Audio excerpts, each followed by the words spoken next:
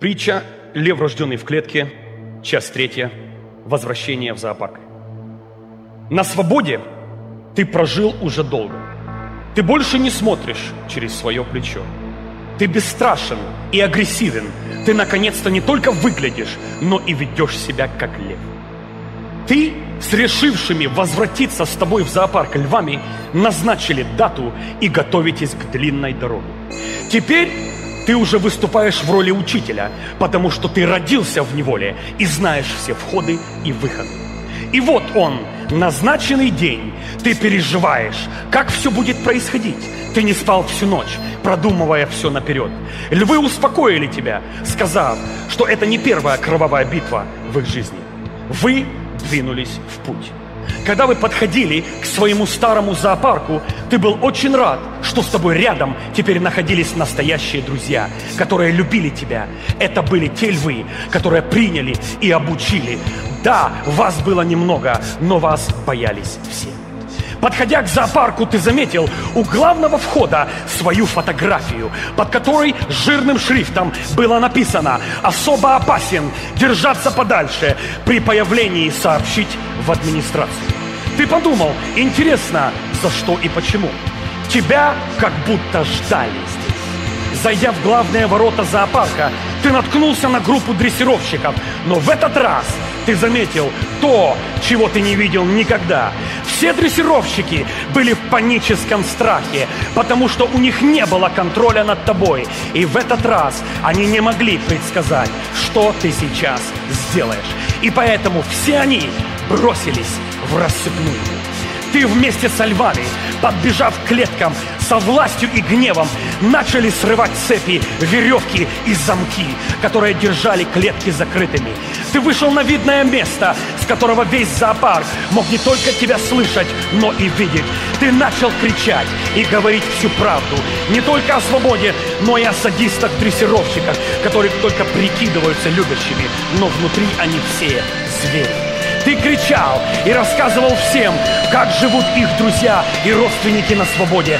Ты говорил им, что поможешь начать новую жизнь, что они больше не будут жить в страхе и под контролем дрессировщиков, которые делают с ними все, что захотят. Ты кричал всю правду о дрессировщиках и об их жесточайших методах и пытках. И вдруг раздался выстрел. Дрессировщики вернулись, но уже не стоком и дротиками, а с огнестрельным оружием они начали стрелять на повал. И вдруг ты понял, что для дрессировщиков свобода – это смерть, потому что зоопарка больше не будет. И сейчас они просто сражаются за свое существование. Во время перестрелки начал царить хаос. Ты обратил внимание, что двух твоих самых близких друзей уже не было в живых. Они лежали возле клеток в крови. Прямо там ты начал реветь и стенать, и даже пожалел, что не смог их остановить от желания идти с тобой. Увидев эту картину, ты захотел остановиться и уйти. Но потом что-то внутри тебя проговорило, что цена уже уплочена, и она слишком велика, чтобы остановиться.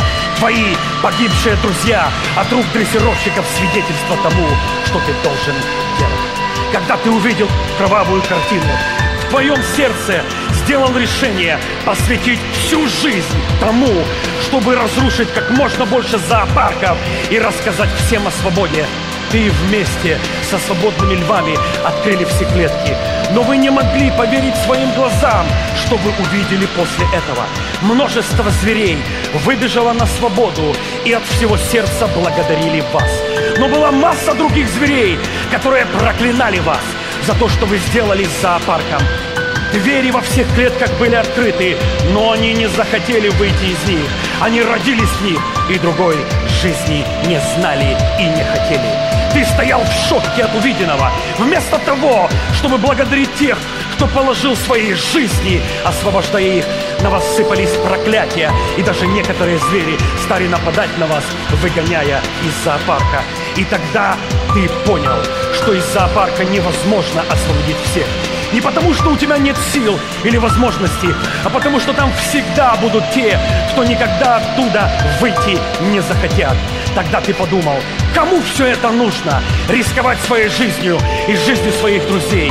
но ты вспомнил себя в неволе и то, что внутри тебя говорило, что даже ради одного освобожденного на свободу стоит отдать даже свою жизнь. Там, посреди этой страшной картины, где лежали твои друзья, стреляли дрессировщики, и одни звери кричали «пошел вон», а другие «спасибо». И там, у трупов своих близких друзей, которых у тебя даже нет времени оплакать, ты поклялся, что именно этим ты будешь заниматься всю свою жизнь. Ты не будешь обращать внимание на похвалу или проклятие.